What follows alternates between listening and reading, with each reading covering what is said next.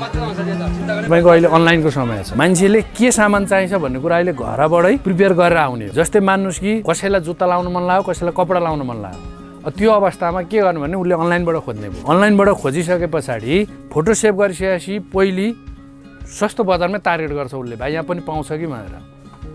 अनि त्यो भेटेन भने ऊ मलमा जाने हो। तर मलमा गइसके पछाडि पनि उसले त्यहाँ महँगो लागेर एकचोटि भाइ यहाँ रहेछ भने अलिकति कम रेटमा भेटिन्छ कि? भनेर खोज्ने कारणले गर्दाखेरि जस्तै मलको कस्टमर पनि अहिले भिरगुटी मण्डपमा छिर्छ सामान किन्ने मान्छेहरू त कम कम नै छन्। विगतभन्दा त तर पनि हाम्रोमा केही केही मान्छेहरू चाहिँ तपाईँको चाहिँ कस्तो भने अब जस्तो फुटपाथहरूको बजारहरू कम हुनु होइन?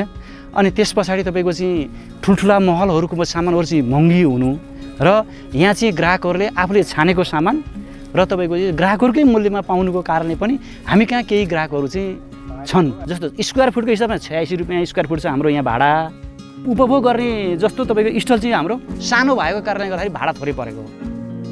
ठुल्ठुला मलहरूमा प्रवेश गरेर सामान किन्नलाई अलिकता चाहिँ तपाईँको अलिक ढक हुने। मान्छेहरू तपाईँको खुलेर चाहिँ सम- सामानहरू किन्न नसक्ने परिस्थिति गएपछि किन्नै पर्ने हो कि भन्ने परिस्थिति छ। हाम्रामा त पचासवटा पसललाई हेरेर त्यसपछि अर्को पसलमा गएर किन्छ मान्छेहरूले क्या। मान्छेहरूसँग क्रय शक्तिको अभावले पनि कारणले पनि होला। र हामी कहाँमा तपाईँको अहिले चाहिँ त्यस्तै हो तपाईँको चाहिँ बढीमा दस बाह्र हजारको चाहिँ व्यापार हुन्छ।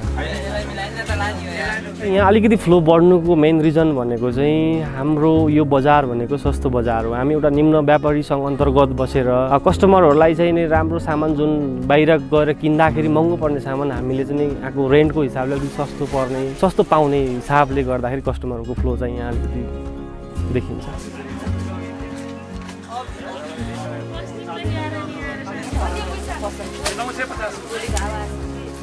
फन पार्क भएको भएर त्यहाँ घुम्ने मान्छेहरू यहाँ पनि एकचोटि के रहेछ त पसौँ हेरौँ भनेर घुम्ने आउनुहुन्छ नि त। कोही कोहीले किनि पनि हाल्नुहुन्छ। अब फेन्सी भन्दा त हाम्रो अलिक सस्तै हुन्छ नि त।